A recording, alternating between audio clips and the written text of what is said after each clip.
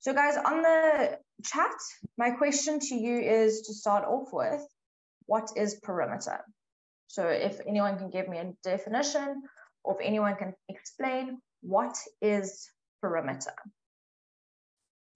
A lot of things going on here. Let's go, my people. Put on the question, write it down. Let's go. And I'm actually asking you, grade eight. So in the chat, what is it? Okay, so Inamanda's put the total distance around a shape. Nice. Anyone want to add to that? Anyone got something different?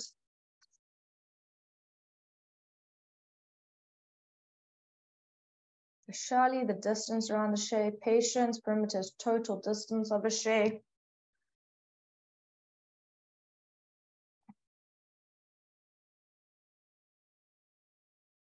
Okay, well, I'll take what I've got here. Right, I agree with all of your definitions, which is awesome. So perimeter is the total length or distance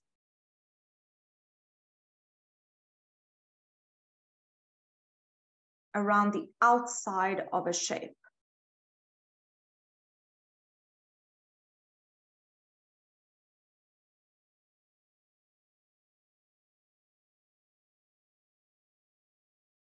And I'm adding here 2D shape because when we look at um, 3D images or 3D shapes, 3D images or um, 3D shapes don't have a perimeter. We can talk about surface area. Yo, guys. Sorry, I'm not sleeping. Um, we can talk about total area, we can talk about volume, but perimeter is very much a, a concept or a measurement that we use with 2D shapes. So the way I like to imagine a perimeter, and it can be any shape, I'm just going to use a very basic rectangle to start off with. Perimeter can be based on any shape, we're going to do a few examples today. But I always like to imagine that if this is my shape, the perimeter is essentially if I were to put a fence around the outside of my shape. That is what perimeter is. I always think of it as if I had to fence off the shape, what would the length of fencing be? And so that is perimeter. Okay, now in order to determine perimeter, we obviously need to know what shape it is we're working with. Depending on the shape, there might be some calculations we need to do before we can get to perimeter. And this is where things like um, Pythagoras potentially are useful to us. But really, we need to get comfortable with the shapes that we can work with and how to work out perimeter. Alrighty, so let's have a look at our first example. Sort of leading on from what I've already done, we here have got a rectangle. Now, guys, I'm not assuming that it's a rectangle. I know it is because all of these um, corner angles or interior angles are 90 degrees, which means I do have a rectangle. Okay, so if I have a rectangle, my first question to you guys is, if this side on the right was X and this side down at the bottom was Y, what are my values of X and Y? So in the chat, what is X equal to? and what is y equal to? Based on the fact that I know I'm working with a rectangle. What are x and y?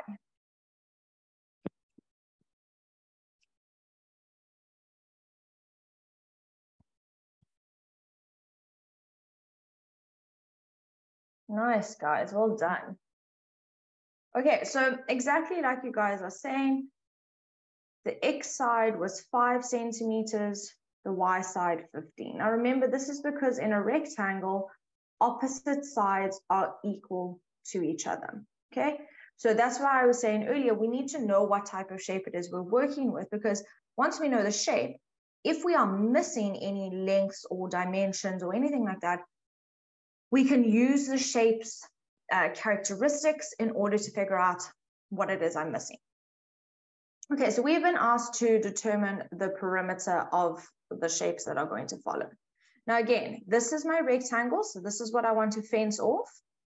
I need to work out the length that I'm outlining in blue here.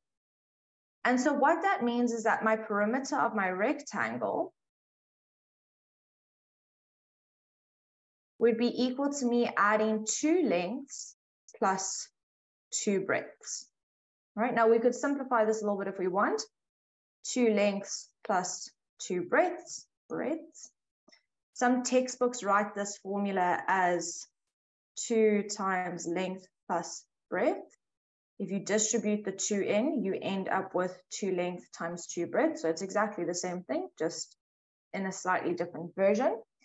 But essentially, this that I've written down here for you guys is your formula for the perimeter of a rectangle.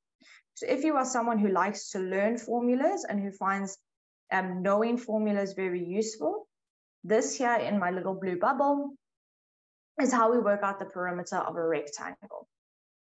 And let me put this here. Okay, so the perimeter of a rectangle we can find using that formula. But essentially, all we're actually doing is we're adding the four sides up. Okay, so I'm going to add my two lengths, so 2 times 15, plus my two breadths, which is 2 times 5. 2 times 15 is 30 centimeters. 2 times 5 is 10 centimeters. And so I get that my total perimeter around the shape is 40 centimeters. Now, a couple things. Firstly, perimeter, we use a capital P to represent that we're working our perimeter. So it's absolutely fine for you to say P equals. Second thing is perimeter is a perim, perimeter is a measurement, right? It's a length, it's a distance, as you guys said, which means that there has to be units attached to my answer.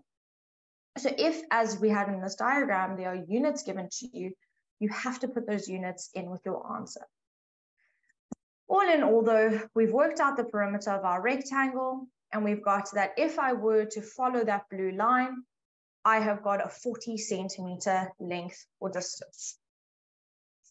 All right, so let's take our screenshots. If anyone has any questions, now's the time to raise your hand. Um, little quickly, I've written the formula down in a little bit of a bubble. Um, if you're struggling to see the screen, you need to unpin and repin my screen, or maybe even log out and log back in again. But try those two things. If you still can't see, we will see what we can do.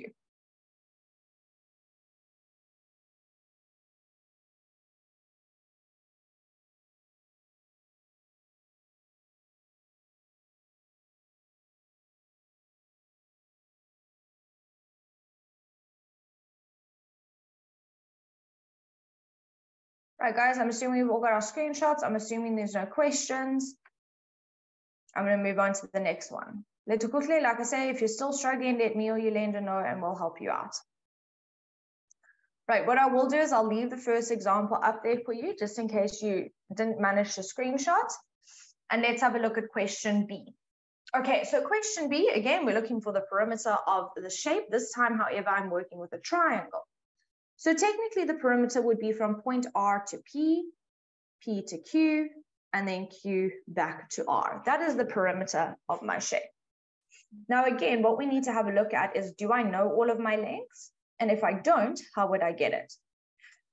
The first thing that I notice, guys, is that I don't know what RQ's length is. Now, we can see that this is a right angle triangle. So who can tell me what is the theorem that we use to work out a length in a right angled triangle? So if I don't know a length in a right angled triangle, exactly, Sinyane, I use Pythagoras. Okay, so we have just done a whole course on Pythagoras. So what I want you guys to do is I want you to use Pythagoras to work out the length of RQ. Okay, we've done a whole course on it. Go back in your notes, have a look um, let us get our length for RQ. If you're feeling super comfortable, you can go on and do the perimeter. But all I'm asking you to do right now is to um, work out the length of RQ.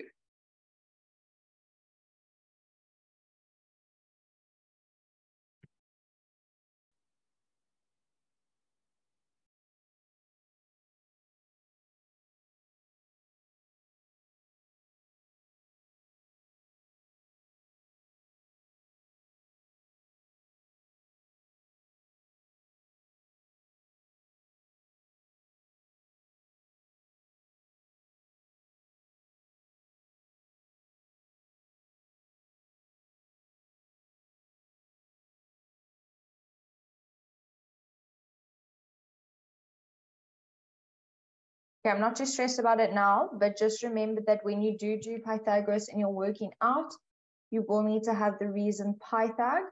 Like I said, I'm not too stressed about the answers coming through now. I'm sure you've put your reason Pythag. If you haven't, just make sure you do. Um, so just remember, anytime you use Pythag, we need to give it as a reason.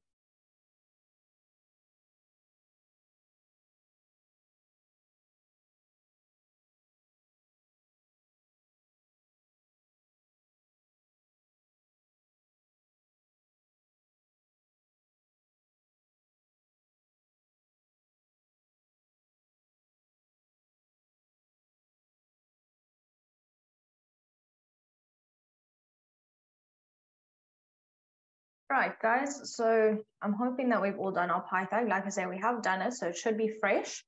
However, we can see that RQ is our hypotenuse. So hypotenuse squared, so RQ squared is equal to the sum of my square of my two other sides, so 6 squared plus 8 squared. If you put 8 squared first and then plus 6 squared, remember that's absolutely fine.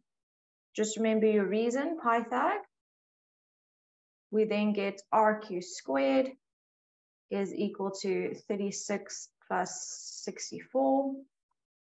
And so RQ squared is equal to 100. Now, guys, remember, we don't want RQ squared, we want RQ, which means that in order to solve this equation, I need to use my inverse operation of square rooting. And we know that the square root of 100 is 10. So RQ is 10 centimeters.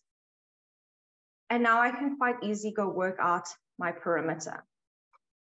Okay, now remember the perimeter is the blue length all the way around my triangle. So I'll have 10 centimeters plus six centimeters plus eight centimeters, giving me a total perimeter of 24 centimeters. Okay, now there is a little formula for the perimeter of a triangle. I don't particularly think it's all that intriguing, but I will write it down for you anyways.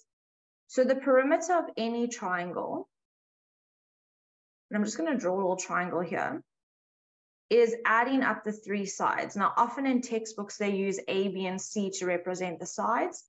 So it'd quite literally be A plus B plus C. And so I'm saying I don't think it's anything too special. You literally just add up the sides. Sometimes you have to use Pythagoras to work out one of those sides like we've just done here, but essentially that is your formula. So some textbooks or your textbook might give you that specific formula just that you understand what it means, but that is how we work out the perimeter of a triangle. But again, grade eights, add up the sides that make up your shape and you have the perimeter. Right, please remember again, perimeter has units. In this case, our triangle was measured in centimeters, so our answer should be in centimeters. Right, so let's take our screenshots. If anyone has any questions, now's the time, excuse me, to ask. You can raise your hands if you do have questions, otherwise we're screenshotting. And then I'm going to move on to the next question. Hopefully this one we can try. I can't actually remember what it is. Okay, so Bokang's asked how many how, mm, how many marks will we get for this type of question where we have to calculate Pythagoras and perimeter?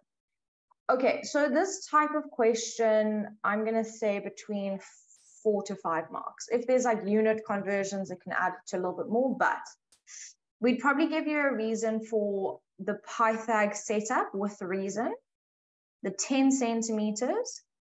If we're feeling generous, we could give you a mark for adding the sides and then 24, or we could just give you a final answer mark. So I would say between three to five marks, depending on the complexity. Um, but yeah, four is a, is a decent sort of mark allocation for this type of question. Vashali, no, we can't. Remember, that is the formula for the area of a triangle. Right now, we're doing perimeter. We're not touching on area just yet. We will look at that formula, but that is for area.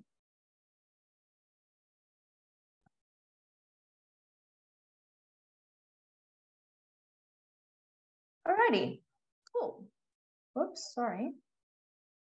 All right, guys, so I want you to try question C for me. Just a little reminder that these little strike marks on the sides mean that those sides are equal. Okay, so what we're doing here is we're working out the perimeter of this quadrilateral. We'll discuss what type of quadrilateral it is in a second. All I want from you right now is to work out the perimeter. Just quickly want to turn on my lights.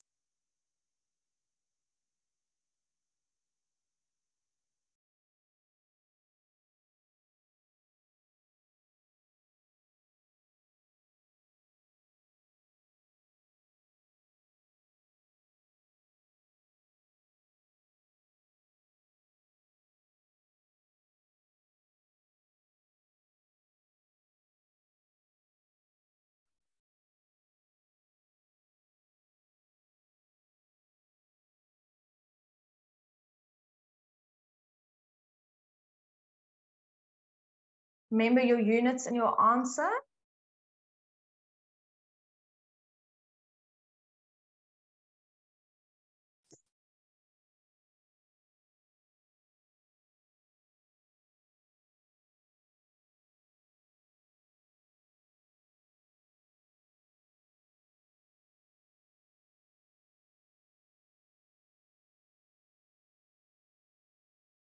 Good, grade eights, well done.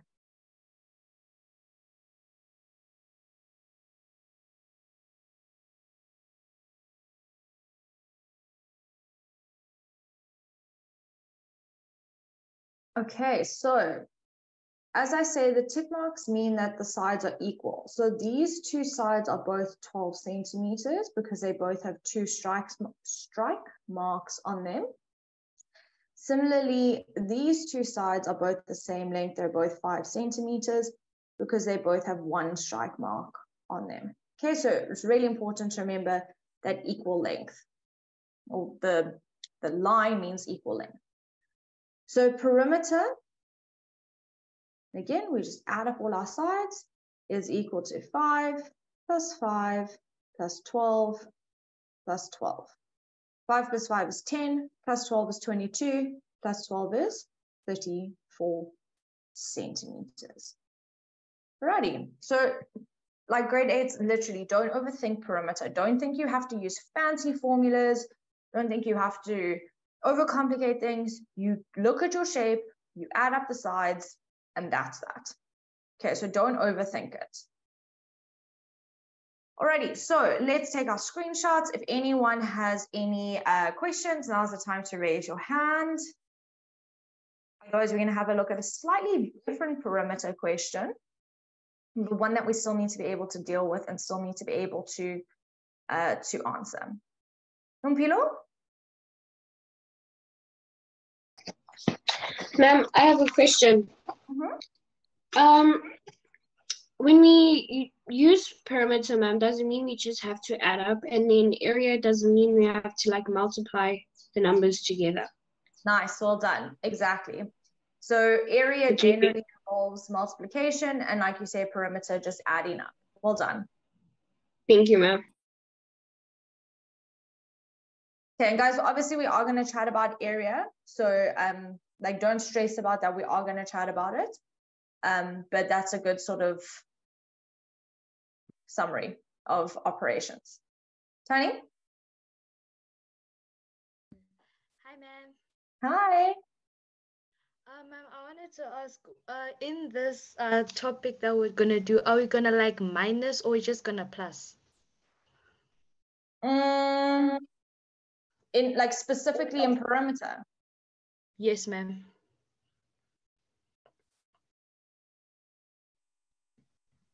Uh, oh, okay. Um, so most of the time we're just plussing. We might need to minus if it's a slightly more complex shape to get a side that we need. But like the the um, final calculation of perimeter, we we just add up sides. So when we do slightly more complex perimeter questions, there may be a need to, to subtract. So for example, if I gave you this sort of shape and I say this was 10 and this was 7 and you didn't know what that is, then you would have to say 10 minus 7 in order to get 3. But the actual perimeter, we will add, add, add, add, add, add. I don't know if that answers your question. Oh, okay, ma'am. Okay, so Thank slightly more complex ones there may be. Okay, thank you, ma'am. All right, guys, I'm glad we're starting to think about all of these things. It's really good. All right, so let's have a look at question D here. Don't get too excited for the brain break. We will have one, but don't get too excited just yet. Um, question D says, and it's really important to read our question carefully. The perimeter of the square below is 32 centimeters. So I'm telling you firstly that this is a square, which means that all of these sides are equal to y because they're all the same. And the second bit of information that I'm telling you is that if you add up all of these side lengths, you will get 32 centimeters. The question asks, determine the value of y, the length of the sides of the square. Alrighty, so let us try it by ourselves. Let's see what we get.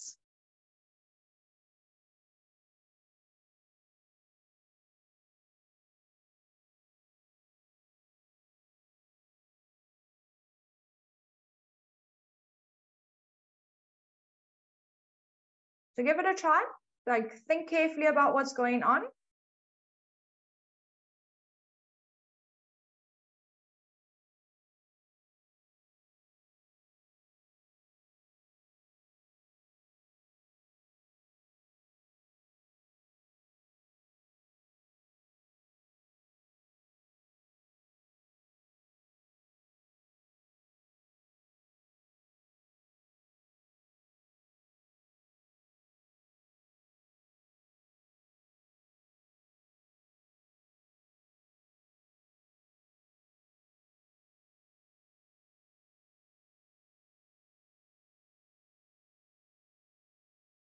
I like that some of you have given a bit of an explanation for what you're trying to do here.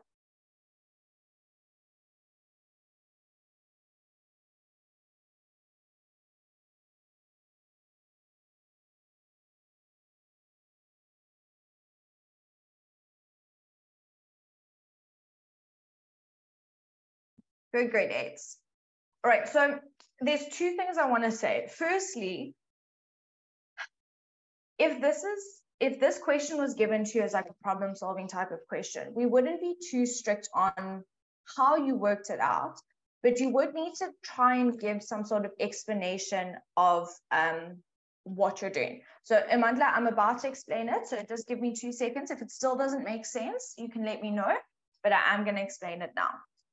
So like I said, if this is a slightly like, if this was given to you rather as a problem solving type of question, you would really be able to sort of use any method, but you always need to try and explain what you're doing.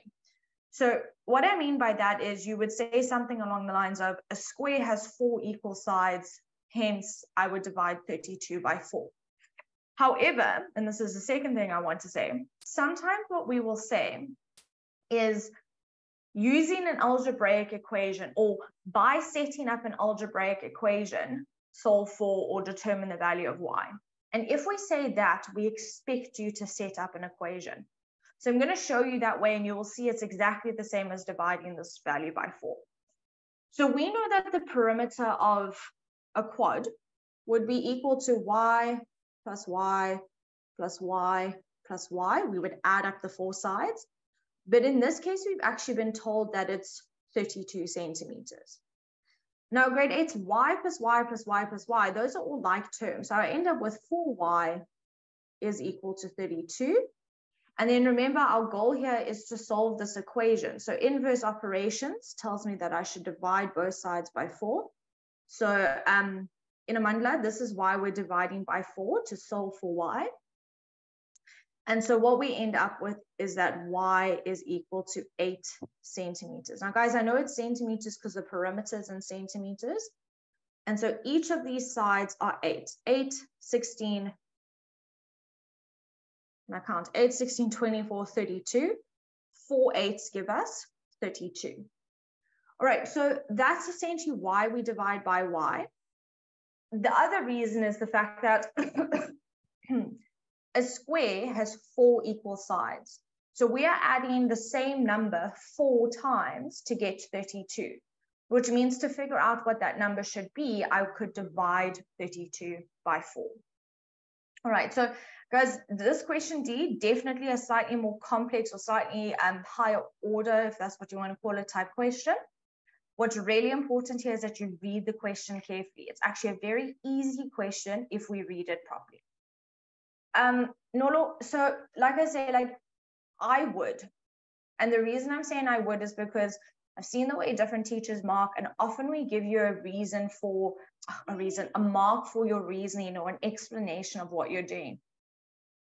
In this case, this would suffice as an explanation, but if you don't know how to set up an equation, you just know you should divide it by four because it's a square, I would just write that down. We don't need a whole long paragraph, just like a simple sentence. This is why I've done what I've done. And then you do your calculations. But I would, especially if you don't know how to set up the equation, it just makes sure that your marker can give you some marks for um, correct reasoning. Alrighty, guys, so let's take our screenshots. Excuse me let's take our screenshots and um, then, like I say, definitely time for a brain break.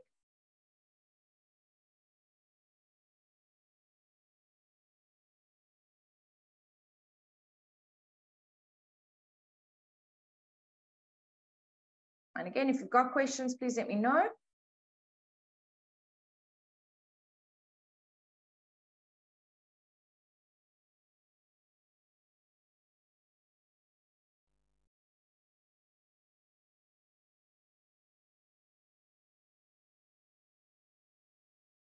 Okay, nice, grade eight, well done.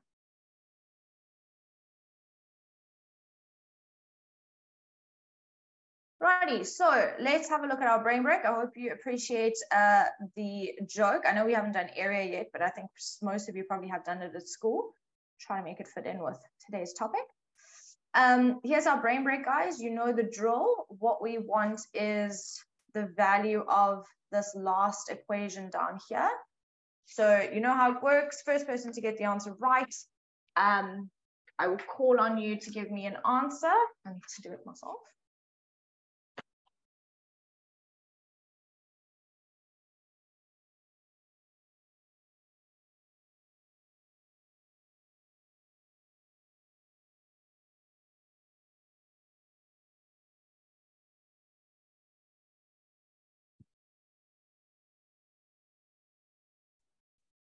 Oh,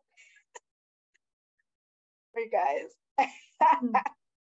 I had to unmute myself to laugh. So you can laugh also. Ooh, what did the area say to perimeter while arguing? I'm trying to talk to you, but I feel like you're just going around my problems. God, I love this one. Then we took a screenshot and put it on my WhatsApp status. oh, I'm glad we enjoyed it.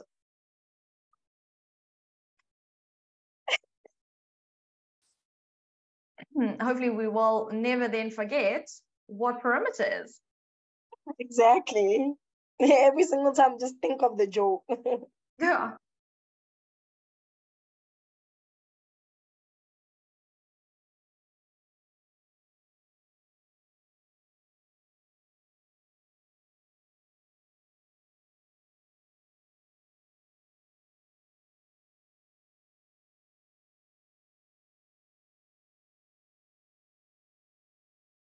Okay, so guys, we're waiting for some answers.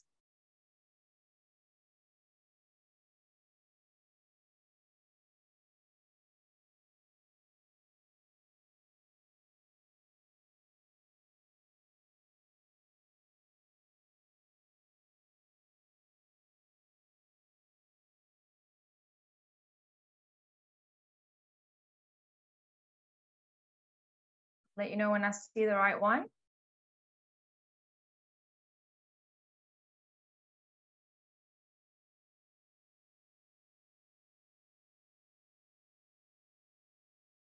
Remember, do it slowly, look carefully at whether or not you've got two, two fruits, two of each fruit, one of each fruit,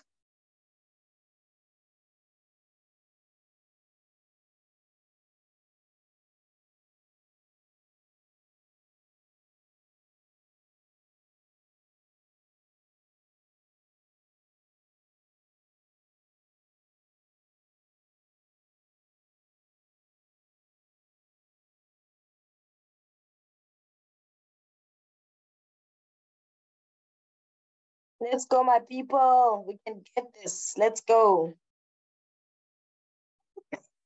I hope my maths is right. You guys are making me doubt myself.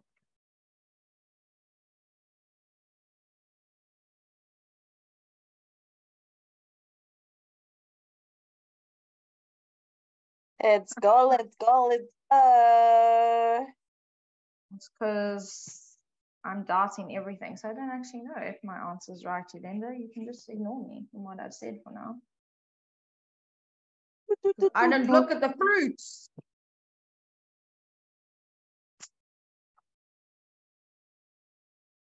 And I just told Maybe you I might need to also calculate on my side.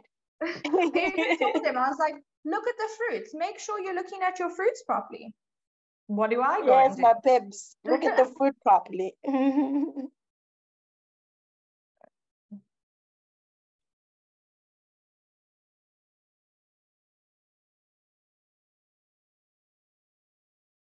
Okay, so you guys definitely got it right before me. Clearly, clearly, my eyes need a bit of testing despite the fact I'm wearing my glasses. So the correct answer, and the first person who got the correct answer was Boutle. Well done, Boutle. Thank you for making me doubt myself. Well done. well done, you you want to raise your hand and to explain it for us?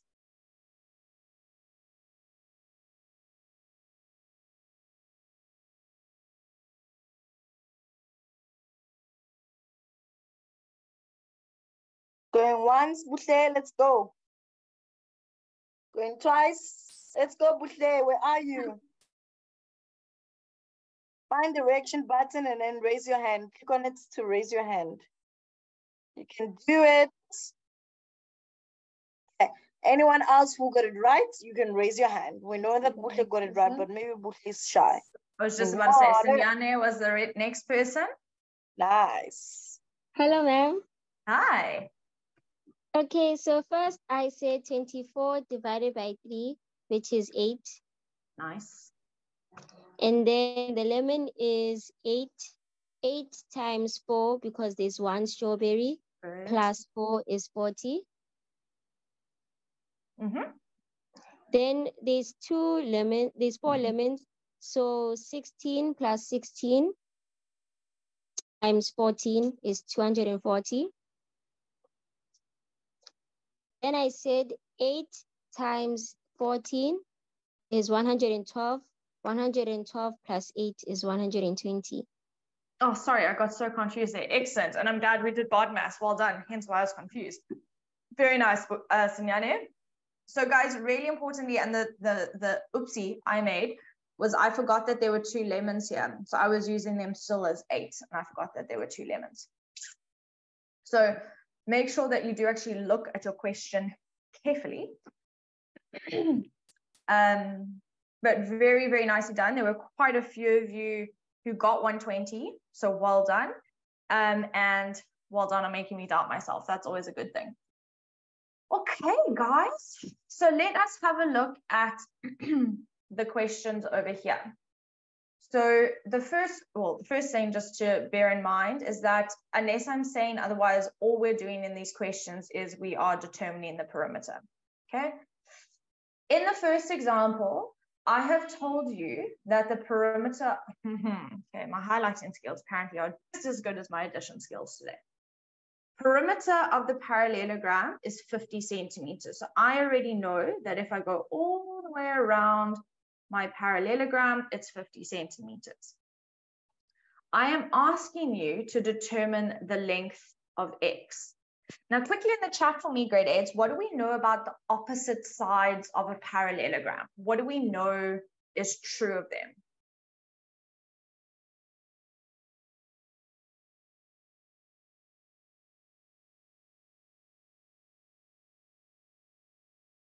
Nice, grade eights. Good. Okay, good. They're equal. So what that means is that if this side length is 10 centimeters, this other side length is also 10 centimeters. And if, I don't know why I'm making that choice, but anywho, and if this side length is X, then the side length at the bottom is also X. Okay, so I want you to use all of that information and I want you to tell me what is the length of X. Give it a try. I've told you what the perimeter is. We've established that the opposite sides are equal to each other. So I want you to try and tell me what the length or what the value of X is. Remember, we've got centimeters here, so our answer should be in centimeters.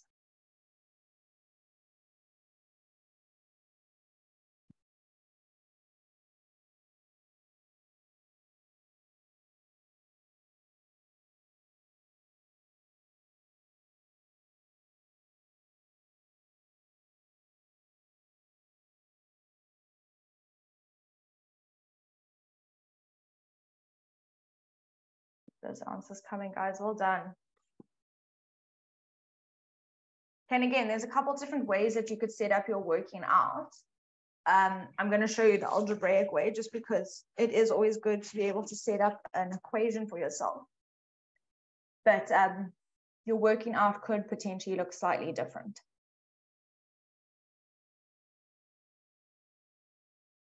Okay, nice guys.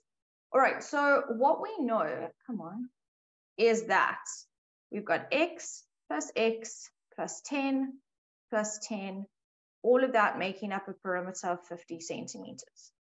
So x plus x is 2x, 10 plus 10 is 20. And so we know that that's equal to 50. Now it's just an equation that we solve. 2x is equal to 50 minus 20, which means that 2x is equal to 30. And some of you put that on the chat and then said, cool, I would now just say 30 divided by 2, which is exactly what we would do. We want x alone, so we're going to divide both sides by 2. And so we get that x is equal to 15 centimeters. Okay, so once again, question like the one we did just before the brain break, really important that we can read our question carefully, see what information we've been given, use um, the properties of our shape and potentially go backwards from a perimeter to work out a missing length. Alrighty, any questions, grade eights? Any concerns? Let's take our screenshots. If not,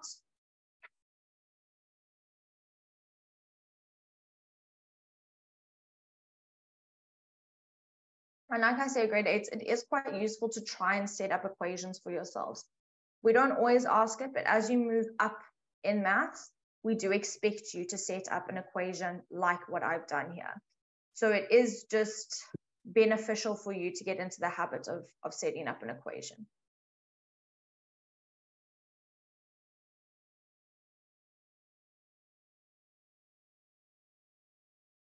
Okay, nice guys.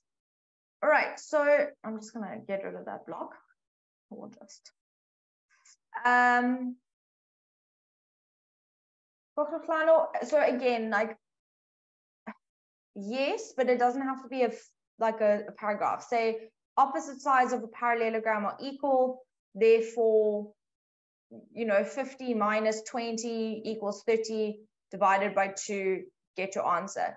So as long as you're telling me that you know that a parallelogram has two pairs of opposite sides equal, that's good enough um, as like I say, as you get on in math, we do expect a little bit more of you, but then we sort of start to, um, I don't want to say train you, but we start to show you how to set up your answers better.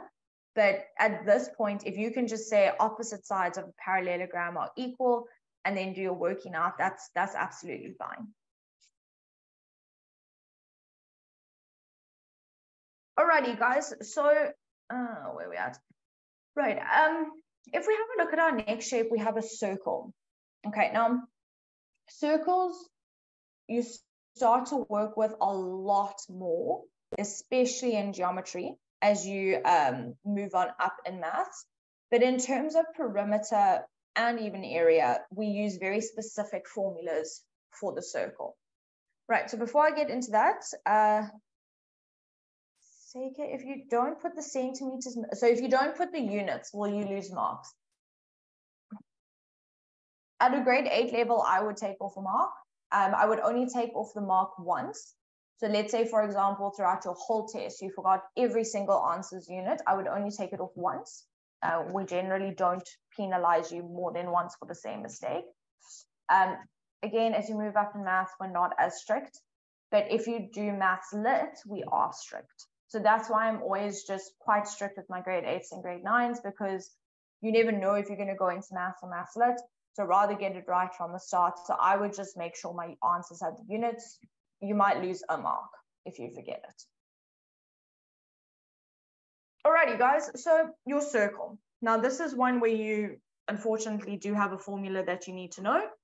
And that formula is as follows. Now remember perimeter is the outside length of your shape. And so the perimeter is the circular boundary for the circle. Now we actually have a special word that we use for the perimeter of a circle. We call it the circumference.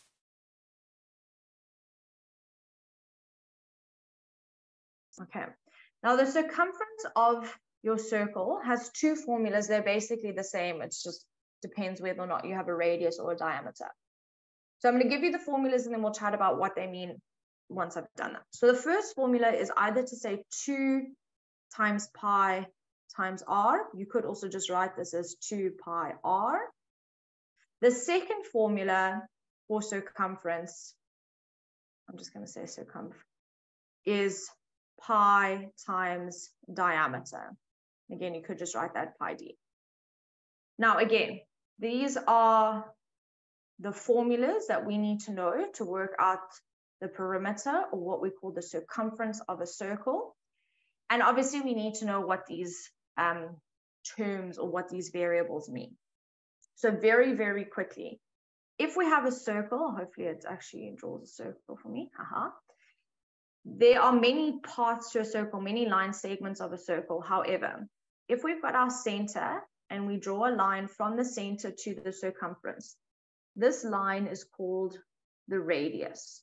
Okay, so the radius is drawn from the center of your circle to the circumference.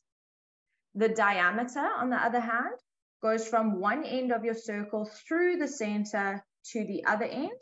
So it's basically two radii put together. And this is your diameter. And as I've just said, really importantly, your diameter is two radii. So if you say two times your radii, you get the diameter. Okay, pi represents the ratio of a circle's circumference to its diameter. You've put me on the spot here. I am panicking a wee bit. I have a whole nice animation that I usually use in class with this. Now it's gone out of my head. Don't don't be sorry. It's okay. Yes. Um, pi is the ratio of the circumference of a circle to its diameter. So if we measured the circumference of a circle and we divided it by its diameter, you will always get something that gets very close to pi. So it's a ratio of lengths in a circle. Right. Um, don't know where I was going with that. Sorry, my brain short circuited there. Okay, so guys, if we've got the circle and we want to work out its circumference, you either need the radius or you need the diameter. It doesn't matter which one, you need one of them. In this case, hopefully what we see is that we have got the line drawn from the center to the circumference. So this line here is my radius. So because I've got the radius, I'm going to use this formula. If you wanted to say radius times two and then use pi times diameter, that's fine, whatever you want. So my circumference here is equal to two times pi times my radius, which is four. Now, on your calculator, I have to grab my calculator. Firstly, we need to know where pi is. So pi is on top of this times 10 to the power x button and it's in yellow. So that means you have to say shift. So we will say 2 times shift pi, probably if I could say shift pi, and we will get our pi symbol on our calculator times 4, okay? Now guys, what you need to be careful of is your calculator will give you an answer in pi, okay? So the answer that your calculator gives you says 8 pi. Now that's technically not wrong. You put centimeters on the end and that's your um, circumference, but that doesn't really mean anything to me. Like, I don't know what eight pi centimeters is. What, what? So we'll push our SD button and we can convert it to a decimal. Now remember, we try and round off to two decimal places. So this two will have no effect on the three. So this is 25,31 centimeters. And generally, when you're working with a circle, we will tell you to round off to two decimal places. Okay, there was a question of, do you do the same thing on a Casio calculator? This is actually a Casio calculator. I know it's a silver one, but yeah, it is. Guys, if you have one of those like slightly smaller calculators where you don't have the pi button, what you can do, please pen, is you can use pi as 3,142. So if you don't have a pi button on your calculator, remember that value for yourself and then you can type that in. Sorry, Sinyane, sometimes I um, mix up my numbers. It is what it is. One, three. Thank you. Amange, I just mixed up my numbers. I have a tendency to do that. It's, I apologize, I fixed it. Um, and so yeah, just remember pi 3,142. If you don't have a pi button on your calculator,